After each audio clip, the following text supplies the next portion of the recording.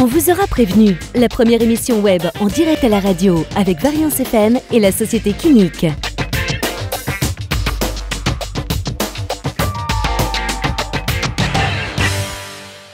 Bonjour et bienvenue dans l'émission On vous aura prévenu, l'émission en direct à la radio sur Variance FM et en rediffusion web sur YouTube dès le lendemain sur euh, le compte YouTube de la société Kinique.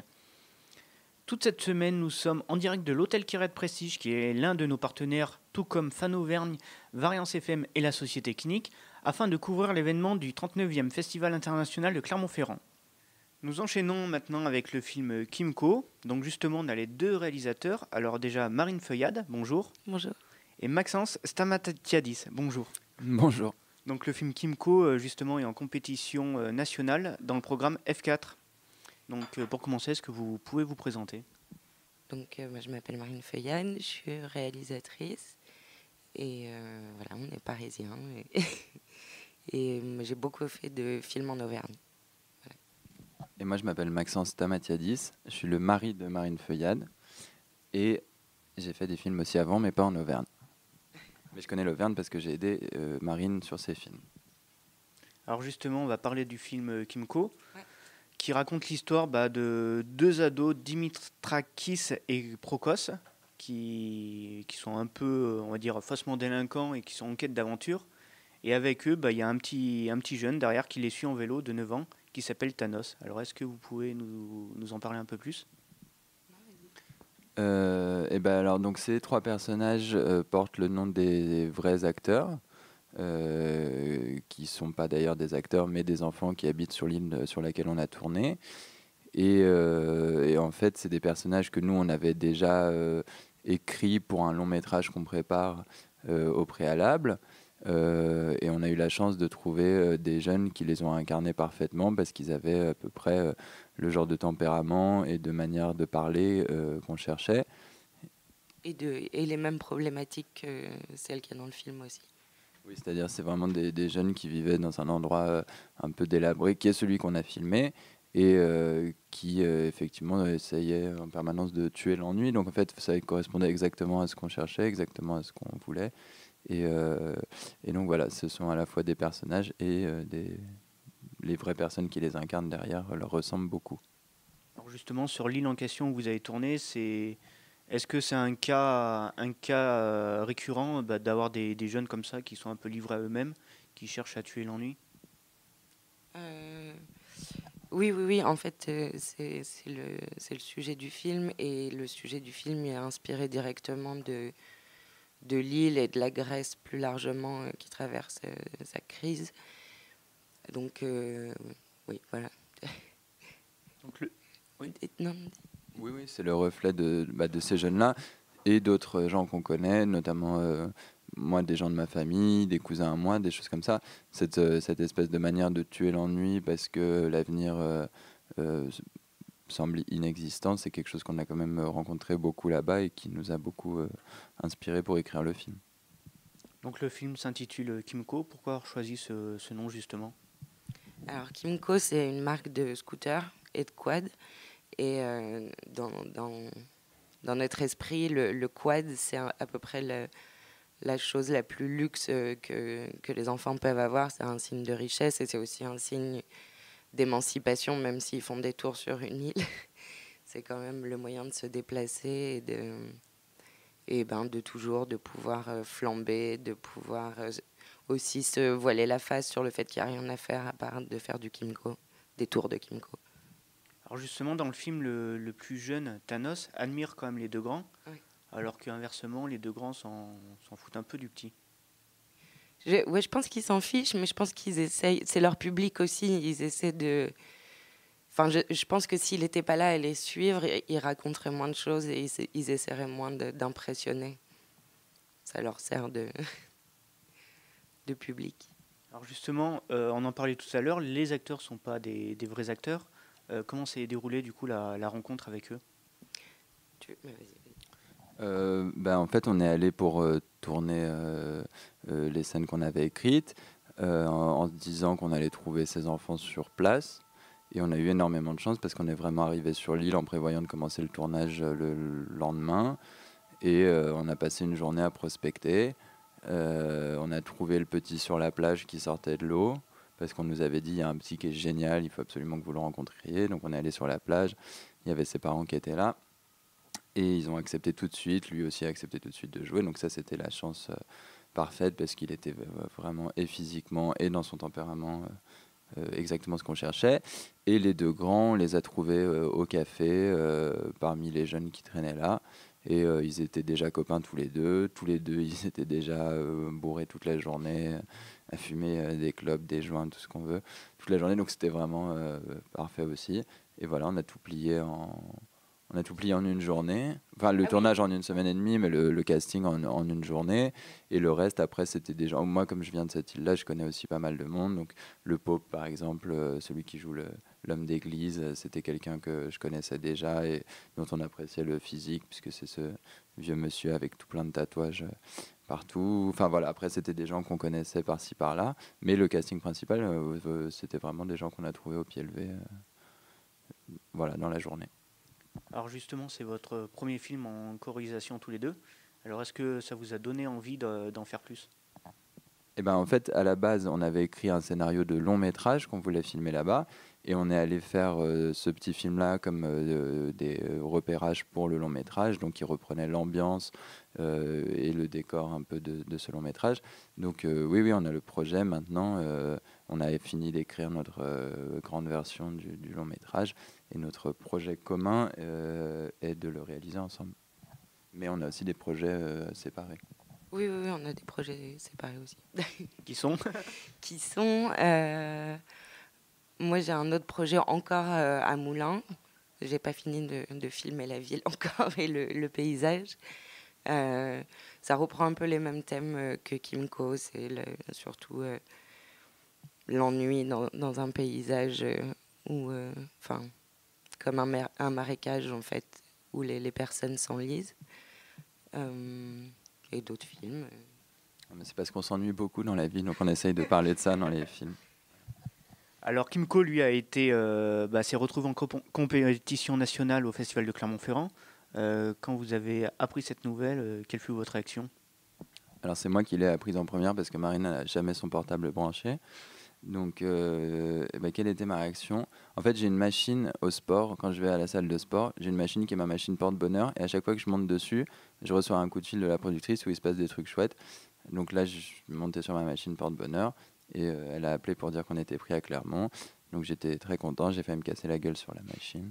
Et j'ai appelé Marine 18 fois, qui a répondu 4 heures plus tard. Et après, on était très heureux tous les deux. C'est ça? Oui, c'est ça.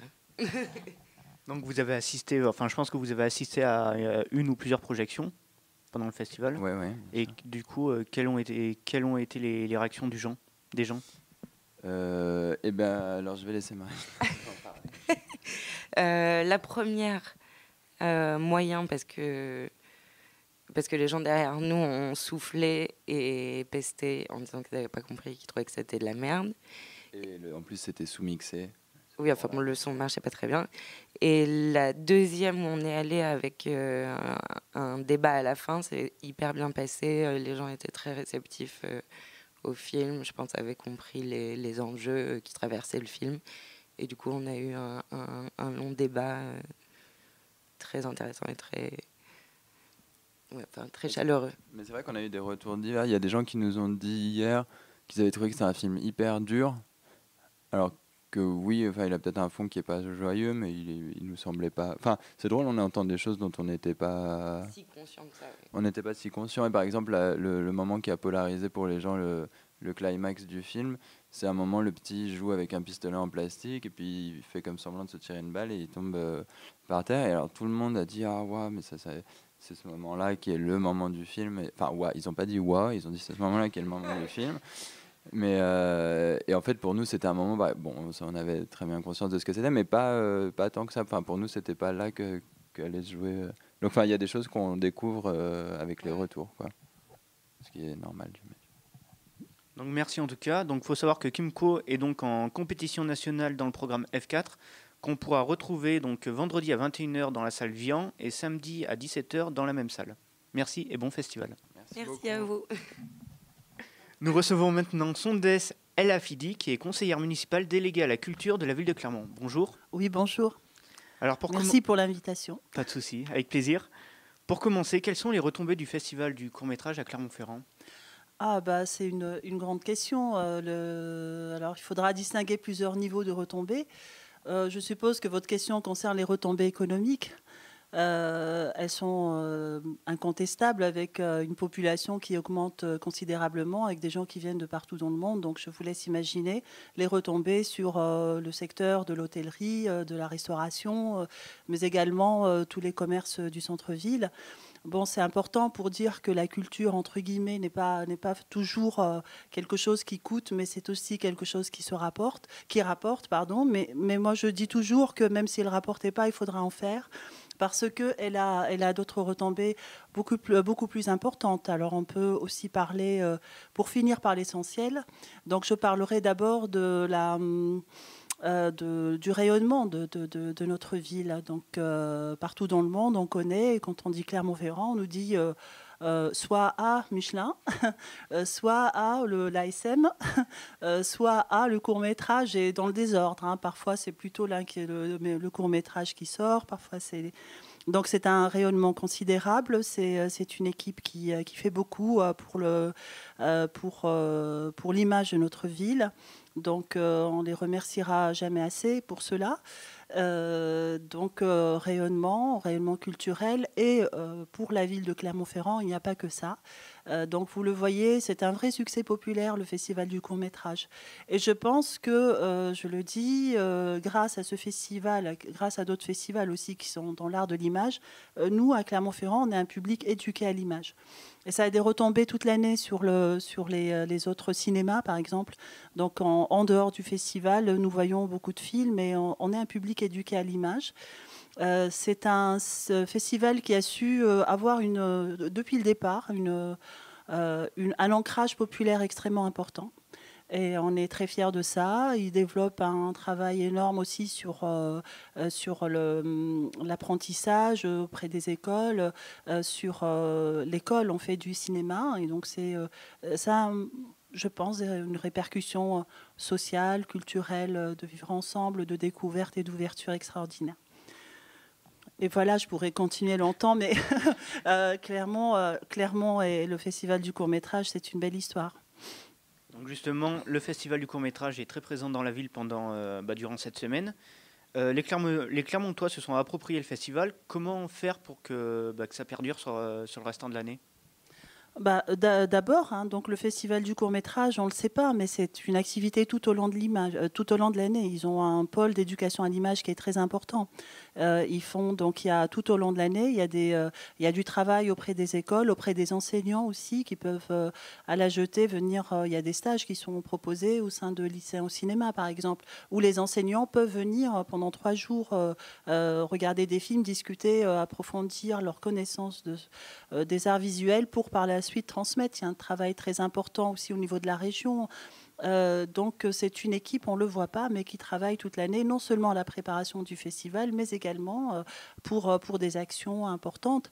Je salue notamment leur action Passeur d'images qui est une opération dans les quartiers populaires où donc il y a tout un travail. Ce n'est pas seulement ils arrivent, ils projettent des films, c'est ils arrivent, ils parlent avec les gens. enfin, c'est une action dans la durée et dans la et dans l'éducation et l'apprentissage. Donc voilà, donc il faut les, encourager là-dedans. Euh, maintenant, dans le cas de la grande région, je crois qu'il y a des questions qui se posent à eux, euh, qui, euh, qui sont à négocier dans le cadre pour garder cette proximité en même temps que de rayonner désormais à l'échelle d'une région beaucoup plus vaste. Alors le festival est victime de son succès, hein. les, salles sont de, plus en plus remplies, même parfois sur certaines séances il n'y a plus de place. quelles sont les solutions qui peuvent être mises en place dans les années à venir? Bon, alors, euh, je, suis clermontoise depuis euh, très longtemps. Je connais le Festival du court-métrage depuis qu'il a débuté. Il a toujours été victime de son succès. Moi, je me rappelle très bien avoir fait la queue avec beaucoup d'autres longtemps, être frustré, sortir, euh, être refoulé. Donc, ils ont trouvé des solutions au fur et à mesure des années, notamment avec les horaires pairs et les, horaires impairs. À un moment, quand on était refoulé à 20h, bah, il fallait attendre 22h. Hein. donc, rester un peu sur place et faire la queue pour être. Donc, maintenant, peut se faire ça ça. cette année, ils ont eu un souci particulier parce qu'ils ont un partenariat avec le cinéma Le Jaude qui a eu des retards dans ses, travaux et donc il aura manqué de, de salles, jauge de salles. Donc ce qui, un petit peu, peut-être cette année, a créé un problème supérieur, enfin un problème nouveau, hein, donc peut-être par rapport à l'année dernière. Mais enfin, il faut tout, vous le savez, il faut venir à l'avance et on n'est pas à l'abri d'être refoulé. Bientôt, euh, Clermont-Ferrand va se doter d'une structure euh, culturelle nouvelle qui est la scène nationale, qui jouxte la Maison de la Culture. Il y a deux salles Hein, donc une grande salle de 800 places et une petite de 300 places. Et la convention prévoit déjà que pendant la semaine du court métrage, ces deux salles sont mises à disposition, sont mises à disposition du festival pour euh, augmenter encore sa capacité euh, d'accueillir le public. Donc plus généralement, la, métropole clermontoise est une terre de cinéma, on en a parlé tout à l'heure. Euh, est-ce qu'il y a des aides qui existent justement bah, pour les réalisateurs qui souhaitent tourner ici? Euh, il y en a des aides. Euh, donc, euh, je sais que le Festival du court métrage subventionne un certain nombre de cours qui sont spécialement tournés sur la région. c'est, enfin, le, leur interlocuteur sur ce sujet-là, c'est plutôt la région et l'État. Mais euh, nous, au niveau de Clermont Communauté, maintenant, euh, il faut dire euh, Clermont-Auvergne Métropole, on, a quelques, on a inauguré il y a quelques mois un dispositif assez basal qui s'appelle Imago. Donc c'est avec une salle qui a une technologie particulièrement avancée qui permet d'abord de, répéter enfin pour la musique, de répéter dans des conditions immersives qui vraiment imitent les conditions de la salle, mais aussi qui, euh, a des capacités euh, de, tournage et de, réalisation euh, d'image qui est extraordinaire. Et je sais déjà qu'il y a beaucoup de demandes pour venir tourner à Clermont-Ferrand ou faire des expérimentations. Donc nous, dans ce cadre-là, on le fait.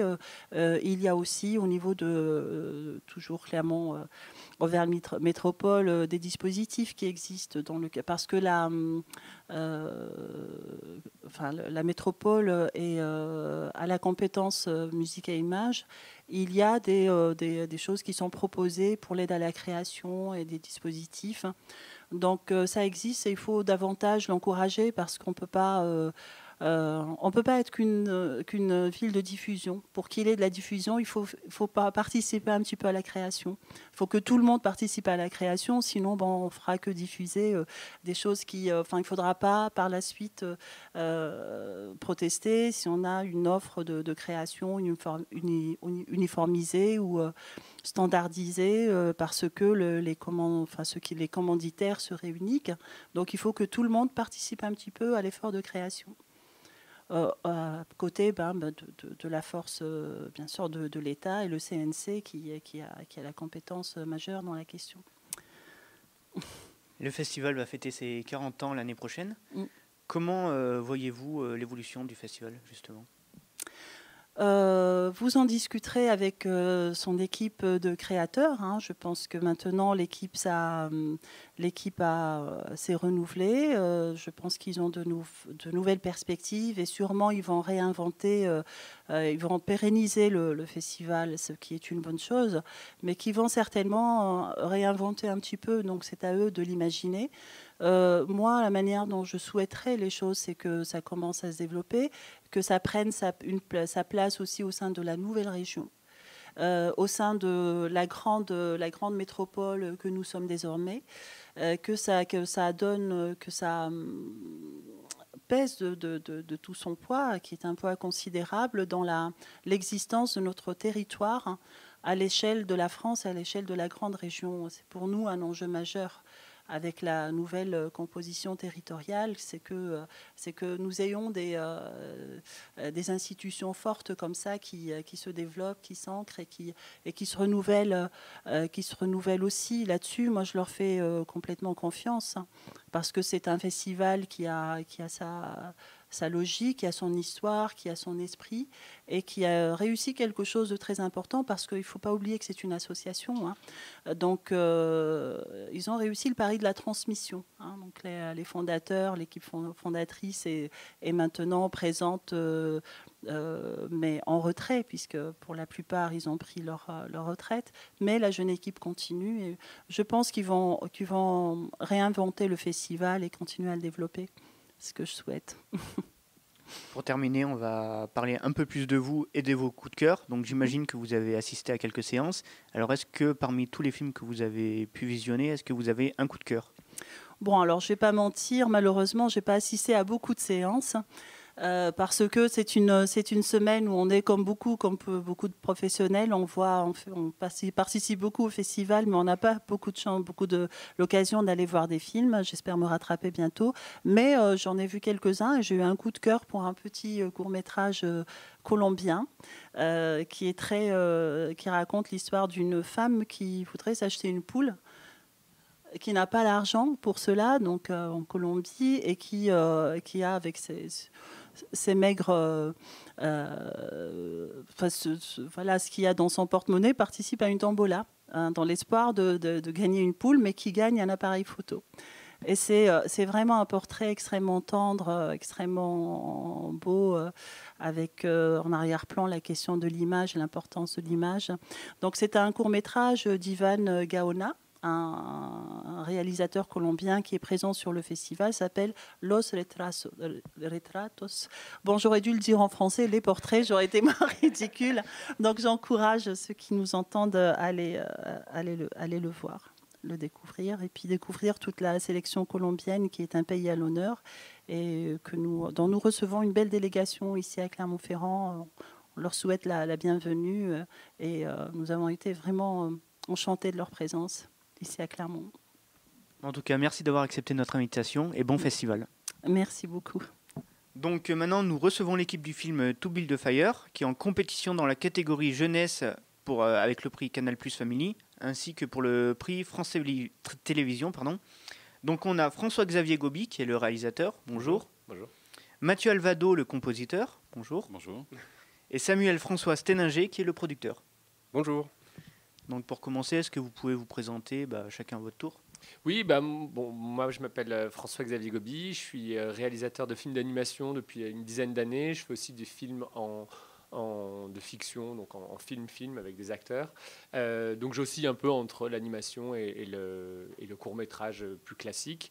et d'ailleurs, mes films d'animation ont tous été sélectionnés à Clermont, comme mes films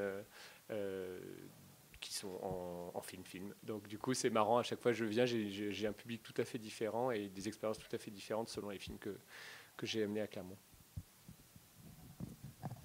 Merci. Alors moi je m'appelle Mathieu Alvado, je suis compositeur euh, depuis bah, pareil à peu près une dizaine d'années. Euh, je travaille sur des euh, des, courts métrages live ou, ou, animation et voilà. Bonjour, euh, moi je suis Samuel François Sténinger, donc je suis le producteur du film. Euh, j'ai monté ce Composite Film en 2013. Euh, je viens plutôt de l'école documentaire et c'est le premier film de fiction et particulièrement d'animation que je produis. Donc voilà, c'était une très belle expérience. Donc le film, c'est l'adaptation d'une célèbre nouvelle de Jack London. Alors est-ce que vous pouvez nous en dire euh, quelques mots? Oui, bah, c'est une nouvelle que j'aime beaucoup depuis que je suis euh, très jeune. En fait, euh, c'est une nouvelle vraiment d'aventure telle que Jack London sait les, écrire. Et en fait, pour l'anecdote, c'est une nouvelle qui avait été commandée par les scouts d'Amérique du Nord à l'époque pour euh, apprendre en fait aux, jeunes scouts que la nature finalement est assez intransigeante et qu'il faut jamais la sous-estimer. Et en gros, il avait écrit d'abord une première version qui était euh, euh, assez light en comparaison à, celle que nous on a adaptée. Et quelques années plus tard, il s'est dit non, il faut que je reprenne ce, récit et que je l'écrive d'une façon beaucoup plus brutale, puisque l'histoire de ce trappeur qui essaye de survivre dans le, dans le Grand Nord, en fait, ne peut pas bien se terminer. Et donc, du coup, il a réécrit une nouvelle version qui est celle que nous avons adaptée et euh, qui est une, version que j'aime énormément. Et donc, pour nous, le défi, vraiment, ça a été de faire une vraie œuvre euh, audiovisuelle euh, à partir d'une œuvre totalement littéraire. Et quand je dis ça, c'est que la nouvelle est très écrite, elle est magnifique, les mots, le choix des mots est, superbe, mais en même temps, c'est vraiment une, nouvelle où on parle des sensations, on parle du moindre détail de, ce qu'est la nature, de ce que, comment est-ce que cet homme vit euh, son expérience, etc. Et euh, le défi pour nous, c'était de faire une adaptation qui n'utilise pas les mots et qui vraiment soit purement visuelle, c'est-à-dire que ce soit un vrai film à part entière. Euh, et c'est très dur quand on, a, part d'une œuvre littéraire aussi magistrale de faire ça, mais je suis assez content parce qu'on a réussi à, proposer quelque chose d'assez neuf sur ce récit sans le trahir en même temps. Donc justement, euh, vous venez d'en parler, c'est un véritable défi du coup d'adapter cette, euh, cette, nouvelle. Alors pourquoi avoir choisi l'animation que plutôt euh, un film? Alors, à la base, j'aurais voulu le faire en film. Et puis, en fait, l'avantage que j'ai, c'est comme je fais autant de films que d'animation maintenant, je peux choisir le médium qui me convient le plus. Et en fait, il y a deux raisons pour l'animation. La première, c'est probablement le fait que euh, d'un point de vue de la réalisation, je n'avais pas de contraintes. C'est-à-dire que si j'avais voulu faire ça en, film, euh, aller au Yukon en plein hiver, euh, déjà j'aurais tué mes acteurs, j'aurais tué mon chien et je, me serais tué aussi. Et je pense qu'on n'aurait jamais pu avoir le, côté épique que j'ai pu avoir en animation, c'est-à-dire vraiment des plans très larges, des plans d'hélicoptère, vraiment avoir une approche assez euh, majestueuse euh, de la mise en scène que je, pense aurait été très difficile dans, un contexte comme celui du film. Or, en animation, j'ai pas de contrainte de ce niveau-là, c'est-à-dire que si je veux un plan à 1 million d'euros, euh, je, je, peux l'avoir. Donc ça, c'était une des premières motivations. Mais la deuxième, c'est aussi, je pense que l'animation me permettait d'explorer beaucoup plus les sensations et d'être beaucoup plus dans un, dans un langage qui soit assez différent et qui soit, qui soit un peu plus permissif pour parler des sensations, pour parler de ce que, de, peut-être du voyage interne euh, de ce que vit euh, cet homme, et d'être plus dans une euh, simplification aussi, une stylisation de, de son histoire. Donc en fait, ça me permettait d'être beaucoup plus essentiel et d'aller droit au but. C'est quelque chose que je trouvais intéressant particulièrement pour, pour cette adaptation. Alors, est-ce que vous avez une préférence justement entre l'animation et la, fiction? Non, j'adore les deux. je ne les utilise pas pour la même, pour la même façon. Euh, assez bizarrement, je sais pas pourquoi, je fais des films d'animation qui sont hyper euh, durs, euh, beaucoup plus tragiques et dramatiques.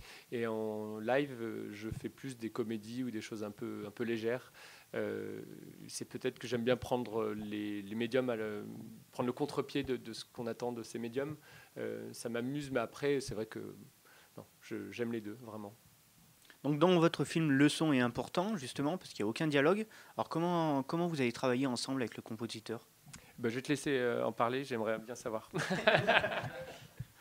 Euh, bah, en fait, euh, avec FX, on, on s'est rencontrés il y a 5 ans dans un festival. Euh, on venait avec deux films un peu particuliers. Lui, il venait avec La mystérieuse disparition de Robert Ebb, et moi, je venais avec L'attaque du monstre géant, suceur de cerveau de l'espace. Donc, je pense qu'on avait les deux titres les plus longs, donc forcément, on s'est, on s'est rencontrés, on a sympathisé.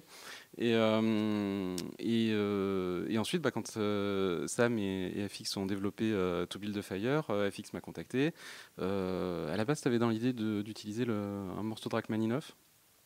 Euh, et, je lui dis oui, c'est bien, mais euh, enfin, il voulait que je l'adapte pour le film. Et je lui dis c'est bien, mais il n'est pas dans le domaine public, Rachmaninoff. Donc il me dit ah, pourtant il est mort il y a longtemps. Je dis oui, mais non, malheureusement.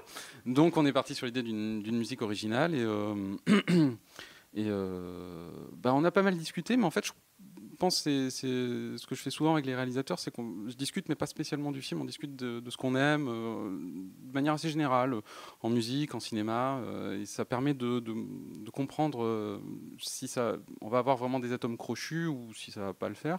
et là, ça, ça, a très bien marché. Voilà, on a à peu près le même âge, donc on a à peu près les mêmes références cinématographiques. et puis, bah, on est parti. je me rappelle qu'on a discuté. Il me semble qu'on a on avait évoqué des pistes et puis en fait j'ai fait autre chose.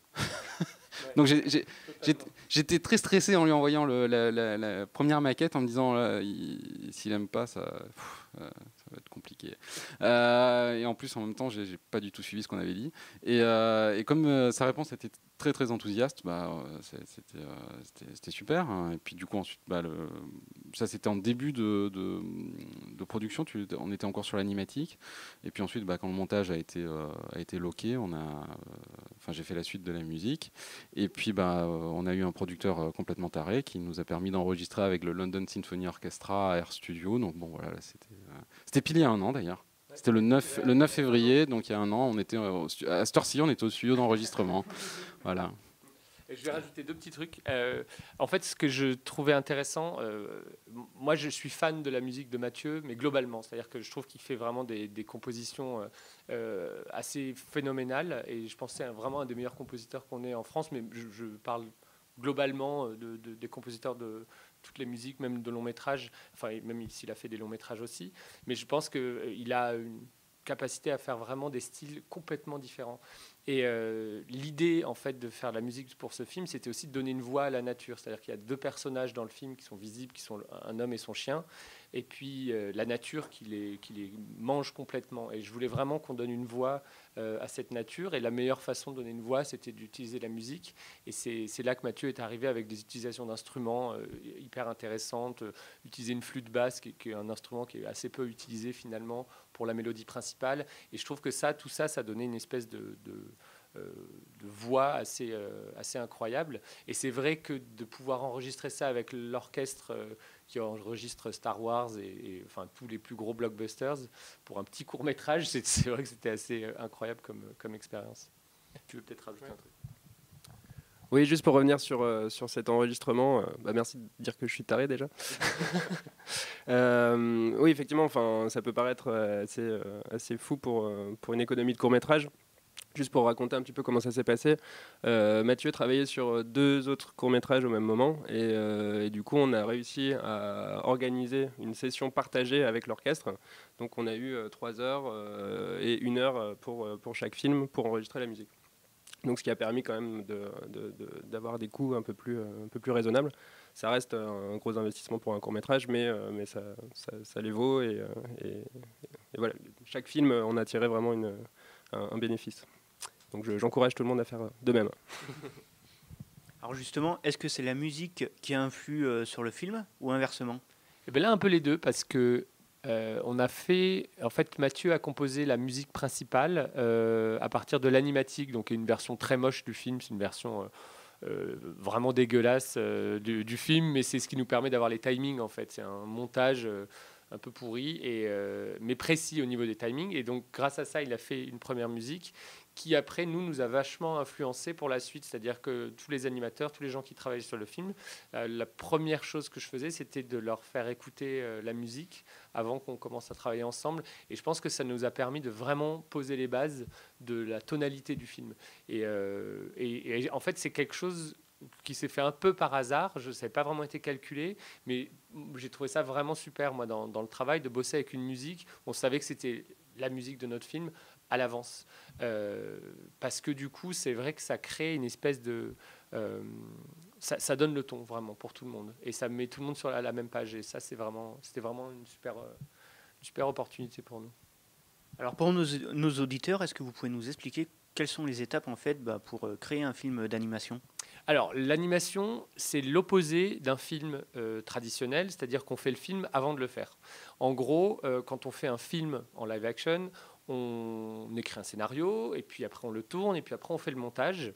Euh, quand on fait un film d'animation, euh, c'est l'opposé. On écrit le scénario, mais après on fait le montage d'une version vraiment vraiment sale, euh, très basique du film avec des personnages en bâton. Enfin, c'est hyper basique. Et ça, ça nous donne vraiment le timing. Et après, on fabrique le film. Donc, c'est-à-dire qu'on fixe le film dans sa structure définitive avant de le fabriquer, et pour justement qu'il n'y ait pas de déchets, parce que la fabrication, c'est ce qui prend le plus de temps. Euh, faire l'animation, euh, euh, dessiner les décors, etc., ça prend un temps fou. Et donc, du coup, l'idée, c'est d'avoir vraiment le, montage définitif avant même de commencer la fabrication pour, pour qu'il y ait zéro déchet, parce que sinon, chaque déchet, c'est on parle en, semaines de, de, travail jeté à la poubelle. Quoi. Et combien de temps ça vous a pris, du coup, pour faire ce, ce film? Alors, à monter intégralement, c'était deux ans à peu près, parce qu'en plus on a fait un Kickstarter pour essayer de, donner un peu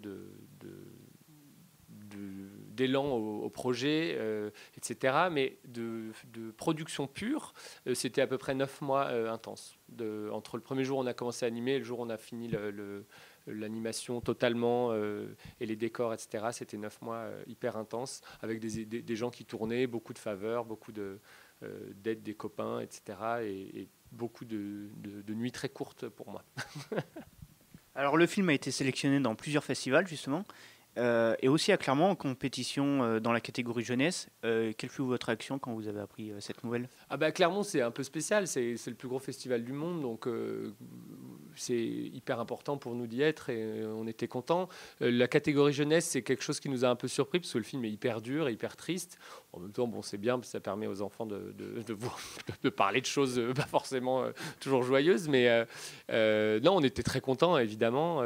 après, c'est vrai qu'il a une il a un parcours assez incroyable. Jusque-là, on a été sur tous les continents, dans, plein plein de festivals. On a gagné des prix euh, euh, qui qualifiés pour les Oscars, etc. Donc des choses qui nous ont vraiment surprises et, qui étaient assez inattendues. Donc non, on est hyper content. Mais c'est vrai qu'être à Clermont, c'était pour nous très très important. C'était une des étapes essentielles en fait. Et l'avis du public euh, après avoir visionné le film? Bah, on a, bah, alors bizarrement, on entend beaucoup de retours positifs. Je pense que les gens qui aiment pas le film ne viennent pas nous le cracher au visage. Hein.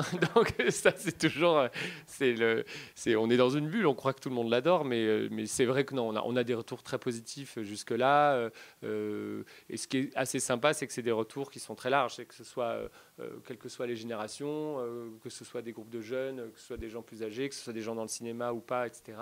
C'est vrai qu'on a, on a des réactions assez enthousiastes, notamment des gens qui, par exemple, la, petite fille de Jack London a vu le film, euh, elle a adoré, euh, ça, ça, nous a fait particulièrement plaisir. Donc, euh, non, non, on a des réactions très chouettes jusque-là.